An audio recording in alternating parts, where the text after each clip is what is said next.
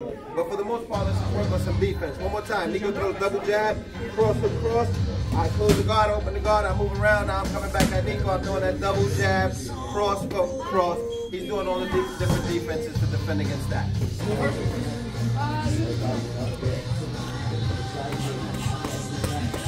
Quick.